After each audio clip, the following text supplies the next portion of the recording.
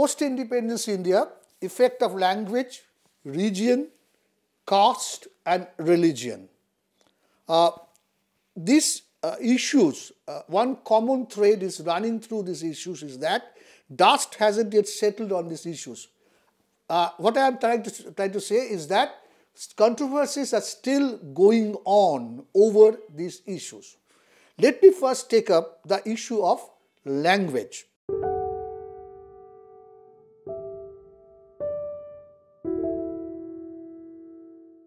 The issue of language posed serious problems in the, uh, the, the early decades after independence. I'll first outline the main sources of controversy. First one is the issue of official language of India. What should be the official language of independent India? That was a big issue. Second one was the demands for the linguistic reorganization of the provinces of India, which in British India was not conformed to uh, linguistic divisions. And third one was the status of minority languages uh, within the reorganized states. In the pre-independence India, crucial language issue was the relative status of Hindi and Urdu and the Devanagari and Persian Arabic scripts. Another part, another point of controversy was the status of English vis-a-vis the vernacular and national language. What should be the uh, position of English language vis-a-vis the vernacular and national language? Another problematic was a relationship of major regional languages of the country, this host of minor languages and how the speakers will, would communicate across the linguistic boundaries. These were the problematics regarding language that the, those, those who were uh, in, the, in charge of the central government, constituent assembly faced. How they tackled it. Now I come to that point. Uh, in 1947, there were 11 languages, each spoken by a million of people, million people. Gandhi first and then Nehru advocated Hindustani as official language for independent India. Though they advocated the kind of Hindustani which was a bit sanitized Hindustani. However, demand was raised for more Sanskritized Hindustani, mostly used in North India, to be the quote unquote official language of India. This demand was outright rejected by non Hindi speaking southern and eastern India. Uh, in this situation, a compromise solution was worked out by the Constituent Assembly. What was the compromise solution? Hindi will be the official language. Their first decision was that Hindi will be the official language. But there will be a cooling time or interim period of 15 years. After 15 years, Hindi will be declared as official language of India. Uh, during this interim period, English will be the working language of the state. The word was used that as working language. The provinces are free to use regional languages, those regional languages which were enlisted in the 8th schedule of the constitution. This was the compromise formula worked out by the uh, Constituent Assembly. But the problem came, the problem arose when this these decisions was to be was to be implemented after say after the 15 years or, or on the verge of 50 completion of the 15 years earmarked by the Constituent Assembly. Uh, in 1963, there was Official Languages Act which was passed and uh, Hindi is to be the official language according to that act as per the decision of the Constituent Assembly. Uh, English was accorded the status of, it was a, uh, what a uh, flamboyant term used for English, associate, additional, official language. English will be the, the status of associate, additional, official language and, for, and that will be for the benefit of the non-Hindi speaking people. Uh, violent reactions, uh, there was violent reactions against uh, this decision, and particularly in South India, where riots broke out in 1964 and 65. Uh, under these circumstances, government was forced to amend this act, and in 1967, the Official Languages Amendment Act was passed. And in this act, what was told, what was uh, decided that for official communication between center and the state, both English and Hindi would be used. Now, English, uh, again English came back to its almost to its uh, prime place. Uh, second one is that regional languages will be used for administration and public service examinations.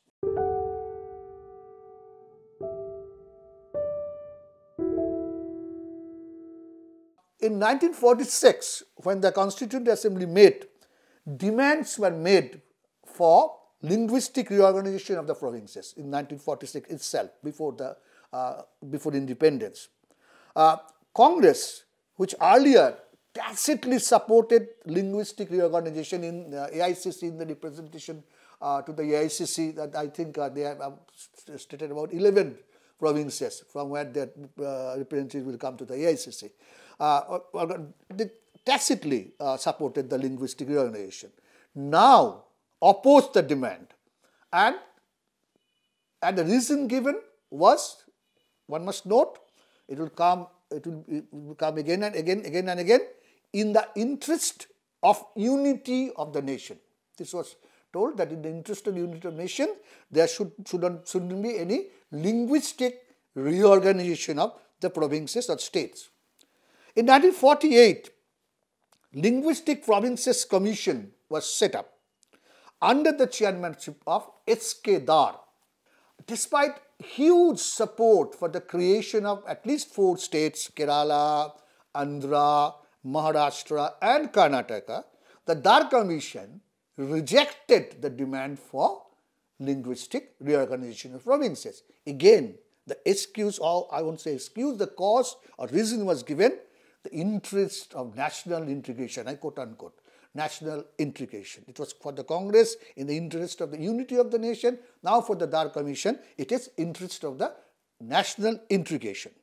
In December 1948 itself, Congress forms its very high-powered committee to deal with this uh, linguistic uh, division of provinces, uh, reorganization of the provinces issue. Three eminent members of Congress party, Jawaharlal Nehru, Sardar Vallabhbhai Patel and Pattavi Sitaramaiah were the members of this commission. It was called the JVP, JVP, Jawaharlal, Vallabhbhai and Pattavi.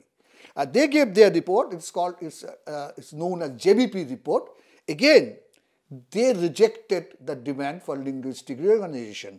And again, the reason was given, now the term, words are different, safeguarding the national unity. Whatever you see, they would say, uh, say uh, whatever the language, the main thing was the concern for national unity, and for national unity, there will be no reorganization of the uh, uh states on the, on the language basis of language. But growing pressure from uh, popular pressure, ultimately center had to give in and the earliest demand for linguistic province was raised by the Telugu speaking Andhra.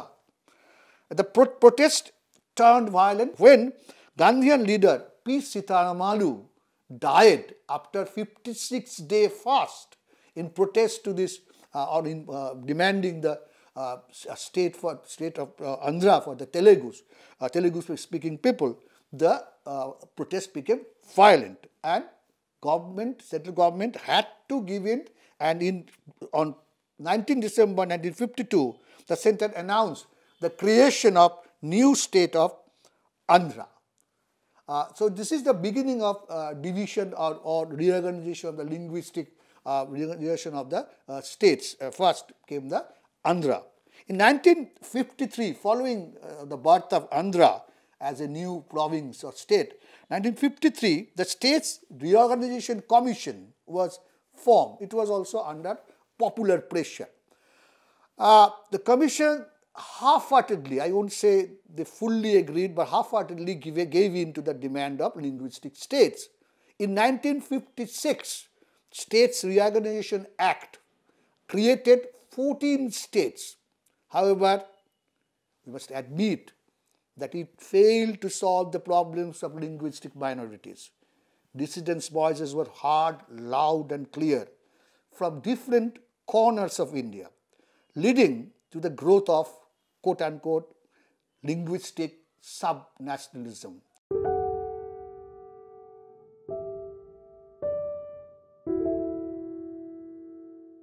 Now we'll discuss the question of our issue of region or regionalism in the Indian context uh, after uh, independence. Uh, theoretically, there are there are one or two issues which should be um, argued or which should be said at the outset. the main point is that whether this regionalism is a threat to democracy or a natural outcome of the federal polity. This is the question I think is continuously being asked, still being asked, whether any demand for uh, regionalism or any demand for uh, regional, uh, say, autonomy or other rights, uh, this question comes whether it is uh, detrimental to the democratic democratic uh, ideal, ideals or it's a natural outcome of a federal polity.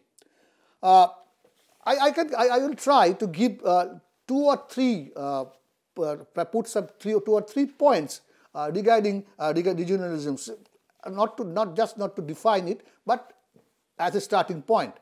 Regionalism is a consciousness of and loyalty to a distinct region with more or less homogeneous population. Uh, one should be conscious and loyal to a distinct region where, where he or she was born and brought up and that geographical space uh, might have uh, more or less homogeneous uh, population, the first one. Uh, second point is that the development of a political and social system based on one or more such area. Third, emphasize on regional, local and characteristics in art, literature, music and etc. This is these cultural traits I think the main, uh, the, uh, the crux of the regionalism. Uh, now, now I'll come back again to the question whether national identity and regional identity are antithesis to each other. I, I, I, I, I'm going to face this question whether national identity or regional identity are antithesis. According to me, what I uh, argue that definitely not. National identity and regional identity are not antithesis being conscious of uh, one's own regional identity and taking pride in it is not in conflict with one's national identity. This is a clear argument I want to put. Uh, notwithstanding the conflicting interest between different regions of India, according to me, a common cultural trait works as a bonding factor there are, uh, I, I, I uh, chose a few factors, a few elements. That is music. Uh, it runs across India. If you folk music of Northeast, South India, Bengal, Maharashtra. It's, uh, it's equally being uh, accepted by all the people, uh, people across India. As a tourism, is one, one element which binds the people across India. cuisines, is another thing which also binds uh, people across India. All these are regional traits, all these are regional identity. Handicrafts, all these are regional identities, but they, they add a national character also. One must differentiate between secession and regionalism. This is another problematic when you talk about region. We sometimes or often trained to mix up secession and regional, regionalism. Secession is not regionalism, regionalism is not secession. Obviously, obviously, uh, one cannot deny that there are several regional disputes uh, and with occasional hostile outbursts also uh, in India, within India. In the southern states, northeast or in the north or in the north India, various issues escalated public passion. Uh, and uh, definitely some of these issues like Kaveri water dispute is yet to be resolved. Uh, but uh, what were the reasons of this regional, uh, say, the, say the, unrest in the region, different regions?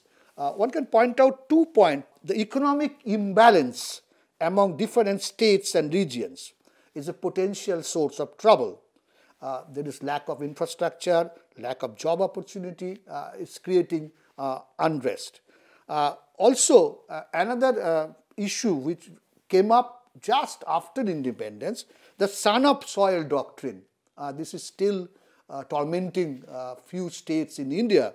The idea is that the state belongs to main linguistic groups uh, and in various parts outsiders were also targeted. So, in conclusion, over the, in this topic of region or theme of region, I should say that regionalism, when promotes one's own own specific identity within a bigger framework of Indian state, Indian uh, national framework is uh, is welcome. It's no it did do no harm to our national identity.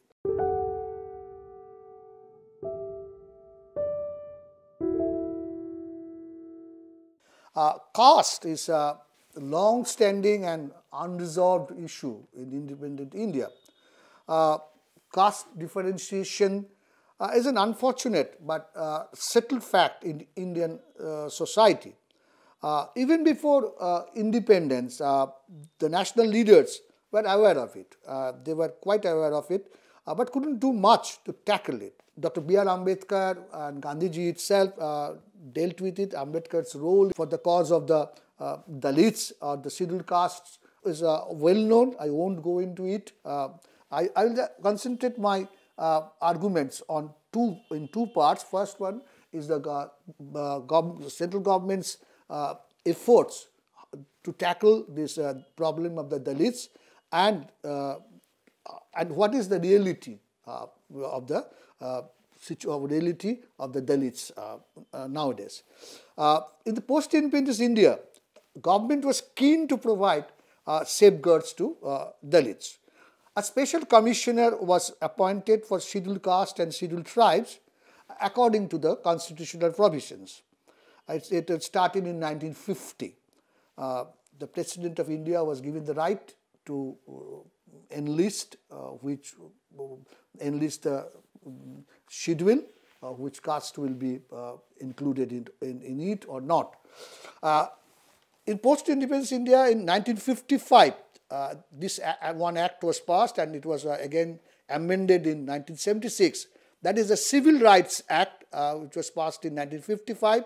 And in 1976, the amended act was called the Untouchability Offences Act. And by the way, the untouchability was abolished. Uh, it was a curse on and scar on the Indian society. But the main question is that, a main issue is that whether on ground uh, these, these acts are being implemented or not, or the benefits of this or those acts are passed on to the uh, concerned uh, concerned persons, this uh, scheduled caste and scheduled tribes and other uh, Dalits. Uh, the, uh, the, main problem is in the Indian rural societies that uh, there's a dichotomy between the elite or the dominant caste and the lower caste still persists. This, this bitter fact should be accepted that there is a dichotomy, strong dichotomy between the elite and the dominant caste and the uh, lower caste.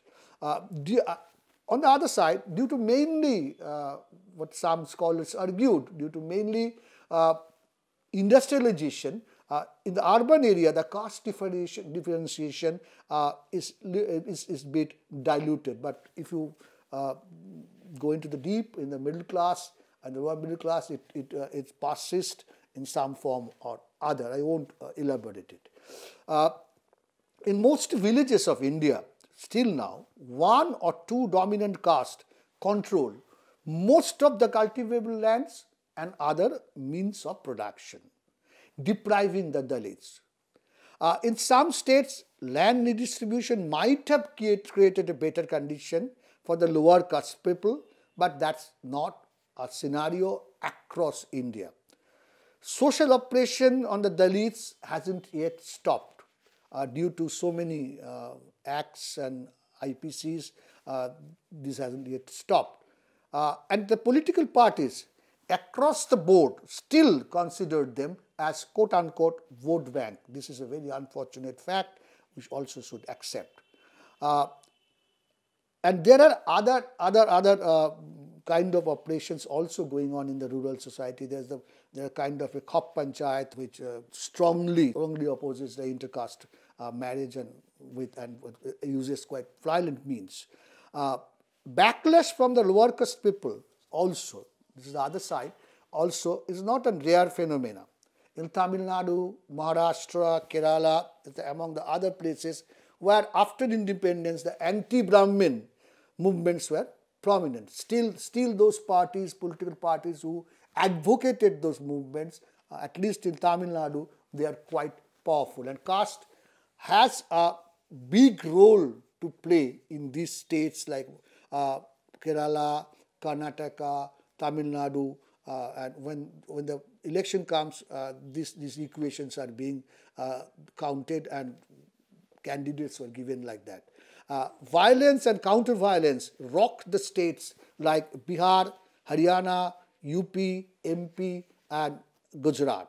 Uh, uh, finally, a reference should be made. I think this without this reference, any any discussion about caste in post-independence India will be incomplete.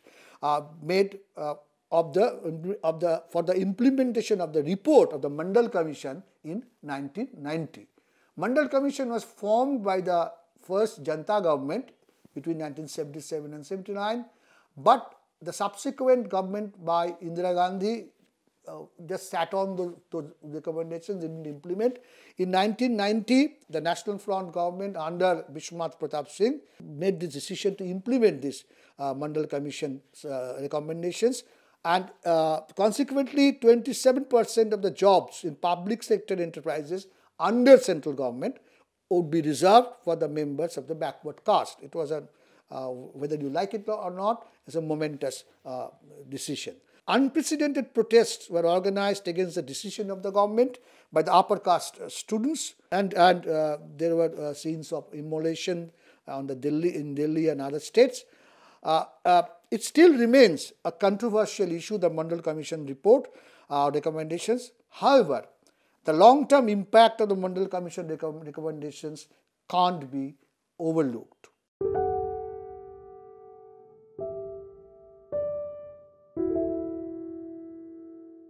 Uh, we know that in independent India was born out of a violent scenario of partition, communal conflict, consequent and consequent human tragedy.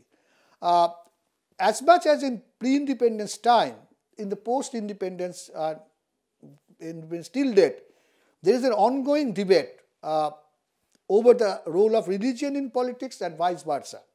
The Congress, in its Karachi resolution in 1931, uh, declared that states shall observe neutrality uh, in regard to all religions. Gandhi, at the outset, himself found there can be a coexistence between religion and politics. But by religion, he meant uh, the dharma or source of uh, morality. Uh, later, in view of growing communal tension in the country, in 1942, Gandhiji uttered his famous words, religion is a personal matter which should have no place in politics. Indian constitution also declares the country as a secular democratic republic.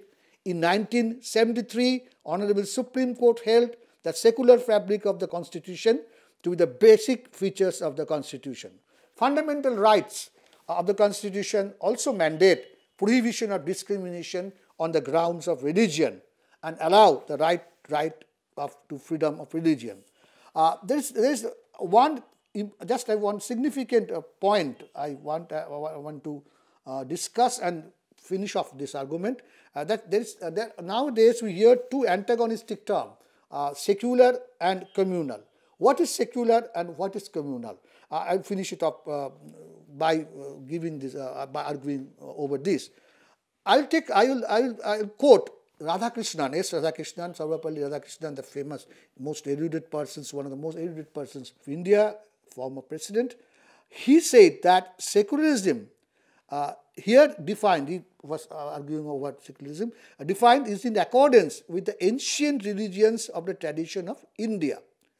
And he added, no person should suffer any form of disability or discrimination because of his religion. This is the main point. No person should be should should be should suffer from any kind of disability or discrimination. That is secularism. Right? And what is communalism? According to me, the communalism is transgressing the space of other contesting religion and suppress it by force and trying to manufacture uh, uniformity. This is uh, my definition of communalism. So, uh, with these words, I close my arguments on religion and close the arguments on, on this uh, particular module.